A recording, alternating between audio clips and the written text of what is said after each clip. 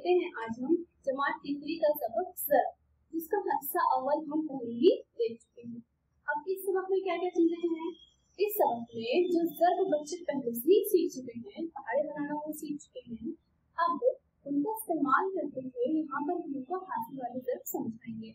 हम उनको बताते हैं कि किस तरह से दो हिंसी अदद को एक हिंसी अदद से जर्ब किया जाता है और किस तरह से दो हिंसी अदाद को दो हिंसी अदाद से जर्ब किया जाता है। जर्ब के यहाँ पर मुख्तलिफ़ तरीके जैसे खाता बनाकर जर्ब करना खाली सुन्नत का इस्तेमाल करके जर्ब करना, ये भी हम यहाँ पर उन्हें समझाते हैं। तलबा दी हुई मिसालों को समझते हुए की मिसालों को किस तरह से हल करना चाहिए, ये भी हम यहाँ पर उन्हें समझाएँगे।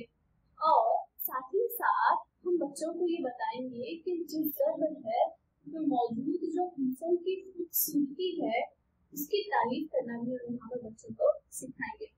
हमको ये सबक बच्चों को इस तरह से समझाना है कि ना सिर्फ़ उनकी इल्मी तरक्की हो, बल्कि उनकी जितनी तरक्की हो, उनकी जिसमानी तरक्की हो, उनकी अखलाकी तरक्की हो, उनकी जज्बाती तरक्की कहने का मतलब ये कि हमें बच्चों की यहाँ पर मजमूरी तरक्की का ध्यान रखना है। ताकि एन दो हज़ार बीस के तमाम मकासद भी हासिल हों और ये सबक में बच्चे आसानी से अच्छे से समझ सके।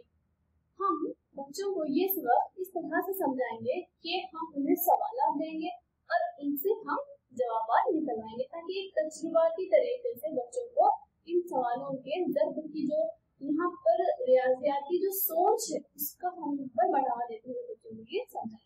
तो चलिए आइए शुरू करते हैं बहुत ही अच्छा सबक जर जर शुक्रिया।